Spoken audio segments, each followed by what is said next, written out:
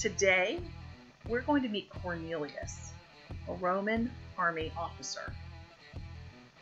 One day, when Cornelius was praying, an angel spoke to him and told him to find a man named Peter who had a message for him. So, Cornelius sent out some of his servants to go find Peter. Does anybody remember who Peter was? Yep, one of Jesus' disciples, same Peter. Elsewhere, when Peter was praying alone, the Holy Spirit told him, Somebody's looking for you. Just then, Peter heard some guys downstairs saying that they were looking for him. So Peter got up and he went downstairs and he said, I'm the one you're looking for. Here I am. The men took Peter to see Cornelius. When they arrived, Cornelius had his whole family and all of his friends gathered together to hear the special message from Peter.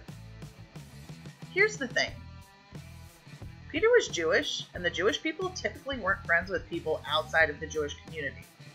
That is, though, until Jesus came and brought this brand new message that God's love is for everyone. Peter realized that was the message he was supposed to tell Cornelius. God's love is for everybody. When Cornelius and his friends believed in Jesus, they received the Holy Spirit. And it was very clear to Peter and his Jewish friends that God loves everyone and gives the Holy Spirit to anyone who believes in Jesus. Loving everyone can be a really tough thing to do. But great news! We don't have to do it alone.